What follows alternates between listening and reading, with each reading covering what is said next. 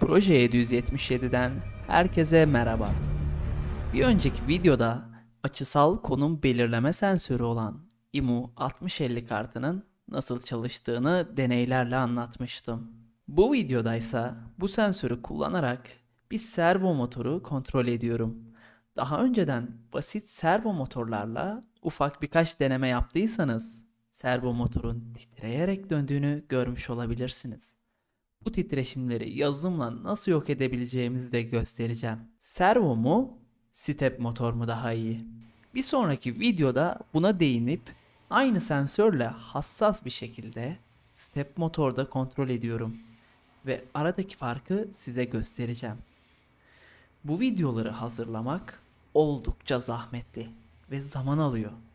Emeğimin karşılığı olarak bir yorum yapar, bir de abone olursanız gerçekten hoşuma gider ve kanalımız büyür. Bunun için şimdiden teşekkür ederim. Öncelikle servo motorun kontrolüne bakalım. İki yazılım inceleyeceğiz. Birincisi en basit olan kütüphaneli yazılım.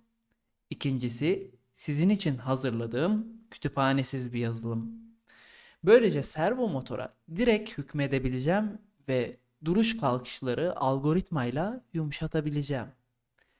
İlk yazılım oldukça sade. Çünkü bütün işlemler arka planda servo kütüphanesinde yapılıyor. Bu yüzden kütüphanenin bize izin verdiği ölçüde servo motoru kontrol edebiliyoruz. Bu da bize oldukça kısıtlı ama basit bir kullanım sunuyor. Burada kütüphanede kullanılan servo objesini MyServo ismiyle bu yazılımda kullanmak istediğimizi belirtiyorum.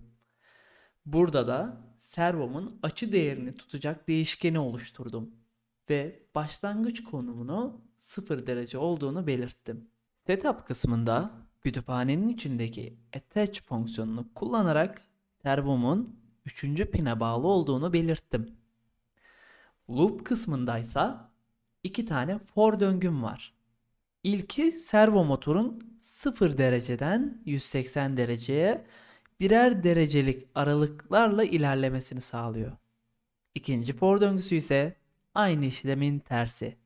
180 dereceden 0 dereceye döndürüyorum. Bu yaptığımız çalışmaları projelerde kullanırken projelere özel devreler tasarlıyorum.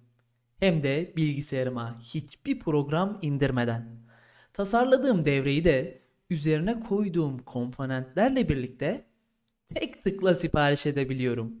Üstelik siparişi verdikten 10 gün sonra devrelerim elimde oluyor. Ayrıca acil yetişmesi gereken bir ürün değilse çok uygun kargo seçenekleriyle toplamda 5-6 dolar ödeyerek 5 adet devre kartı alabiliyorum. Buna kargo ücreti de dahil. Bütün bunları JLC PCB fabrikası ve EasyAda online tasarım aracıyla yapabiliyorum. Siz de referans kodumla kayıt olup 30 dolarlık ilk kayıt indiriminden ve bana sizin için tanımlanan 5 dolar indirim kuponundan faydalanarak tasarladığınız devreleri komponentler lehimli halde profesyonel olarak kolaylıkla sipariş edebilirsiniz. Kodumuzu çalıştırıp neler olduğuna bir bakalım.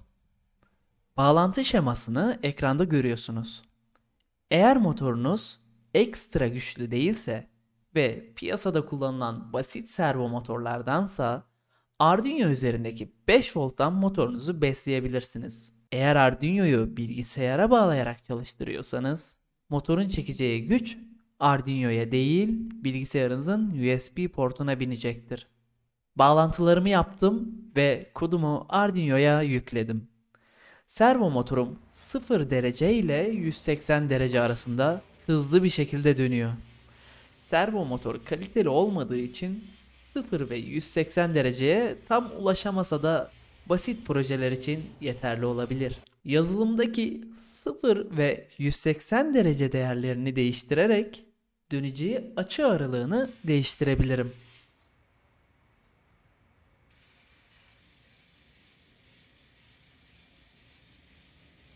Delay süresini arttırarak dönüş hızını yavaşlatabilirim.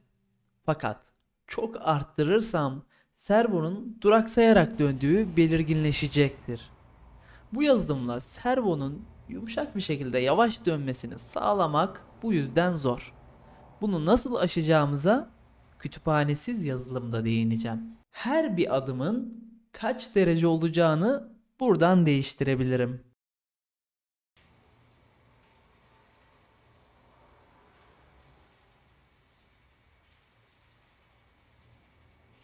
Veya bütün her şeyi silip sadece istediğim derecelere gitmesini sağlayabilirim.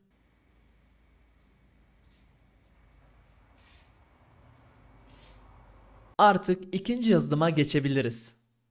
Bu yazılımda gördüğünüz gibi bir kütüphane tanımlaması yok. Bütün tanımlamaları kendim yapıyorum. Servonun pinini 3. pin olarak burada ayarladım. Ve setup kısmında çıkış olarak belirledim. Burada birkaç tanımlama görüyorsunuz. Bunlar başlangıç ve bitiş anlarında motorun yumuşak hareket etmesini sağlayan değişkenler. Aşağıda servonun istenen dereceye gitmesini sağlayan dereceye git fonksiyonu var. Bu fonksiyonu kullanarak loop döngüsünün içerisinde servoyu 0 ve 180 dereceye birer saniye aralıklarla döndürüyorum. Yazılımı açıklamalarıyla birlikte videonun açıklamalar kısmına eklemiş olacağım. Anlamadığınız yerleri yorumlarda sorabilirsiniz. Bağlantımızda bir değişiklik yok. Kodumuzu çalıştırıp neler olduğuna tekrar bakalım. Bu sefer yine 0 ile 180 derece arasında servomuz dönüyor. Fakat dikkatle bakarsanız kalkış ve duruşlar çok daha yumuşak. Bunun birçok farklı kullanım alanı ve sebebi var. Büyük robotlar yapıyorsanız ani durdurmalardan ve kalkışlardan kaçınmalısınız. Çünkü bu motora zarar verir.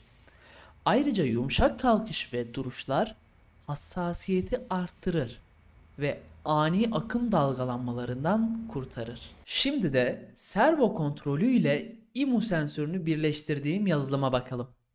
Servo ile ilgili kısımları ve IMU ile ilgili kısımları anlaşılmasını kolaylaştırmak için birbirinden ayırdım. Ayrıca bir buffer ekledim. Çünkü IMU sensörünü ham verilerle kullanarak açı hassasiyetini arttırdım. Böylece 23.40 derece gibi küsuratlı açılara bile gidebileceğiz. Sensörün ham verilerini kullandığım için dalgalanmalar çok olabiliyor. Hazırladığım buffer sayesinde sensörden gelen son 200 adet verinin ortalamasını alarak açıyı hesaplıyorum. Böylece sensördeki anlık sapmalar ortalamayı çok fazla değiştirmeyeceği için stabil bir sonuç elde ediyorum. Kodun en altına indiğimde buffer'ın sistemi yavaşlatmaması için hazırladığım özel buffer algoritmasını görüyorsunuz. Bu algoritma bu videonun bonusu olsun. Burada yaptığım buffer algoritmasını anlayanlarla yorum kısmında buluşalım. Loop kısmında servoyu döndürmek için 3 farklı yöntem kullandım. Bu yöntemleri sırayla deneyelim ve nasıl bir etki yaptığına beraber bakalım. Servo ve MPU 6050 bağlantılarını ekranda görüyorsunuz. Analog write komutunu kullandığım yazılımı Arduino'ya yüklüyorum. Servo motor öncelikle analog write komutu ile istenilen açıya gidiyor. Sensörün hareketiyle servonun nasıl döndüğünü görüyorsunuz. Şimdi de servo pulse fonksiyonu ile döndürelim. Servo pulse satırını aktif edip yazılımı yüklüyorum. Sensörü döndürüyorum ve servonun nasıl döndüğünü görüyorsunuz bir önceki analog write komutuyla karşılaştırabilirsiniz.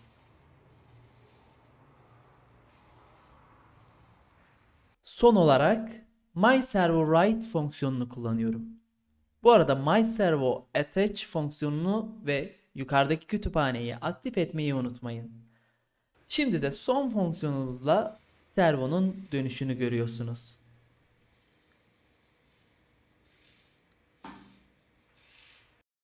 3 fonksiyonla dönüşü de yan yana koyuyorum. Böylece daha iyi bir karşılaştırma yapabilirsiniz. Tabii elimin hassasiyetinden dolayı ufak farklılıklar olabilir ama genel bir kanıya varmak için iyi bir karşılaştırma olduğunu düşünüyorum. Peki siz bu karşılaştırma hakkında ne düşünüyorsunuz? Yeterli oldu mu? Yorumlar kısmında belirterek lütfen bana destek olun ve abone olmayı unutmayın. Bir sonraki videoda bu sensörü kullanarak bir de step motoru kontrol edelim. Bakalım hassasiyetimiz nasıl değişecek? Daha sonra bu bilgilerimizi kullanarak bir denge robotu yapabiliriz eğer isterseniz. Tek seferde çalışan bol projeli günler dilerim. Bize bu fırsatı ve indirimleri sunduğu için daimi sponsorum GLC PCB'ye yürekten teşekkür ediyorum.